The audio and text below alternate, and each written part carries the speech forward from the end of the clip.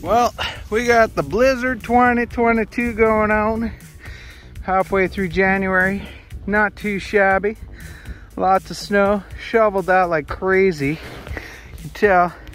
I was here this morning about 4 o'clock. It's about 10 o'clock now. Maybe 3.30 in the morning. Got home from work. And uh, so then my truck should have been cleared. I cleaned it off when I got here or cleaned it off before I got here. I mean, before I drove it. And then, now I'm going to Canadian Tire to get some supplies. And there it is. Now make sure you clean off your truck nice so that you don't impede your visibility.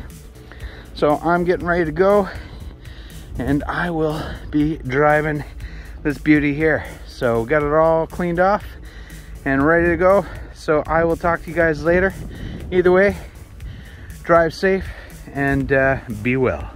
And just to recap, if you guys thought I was actually gonna drive out with my windows plugged like that, you're crazy. I'm not that crazy. I'm cuckoo for Cocoa Puffs going out in this, but I'm not that crazy. In any case, you guys be good and uh, be safe out there. And as always, bacon.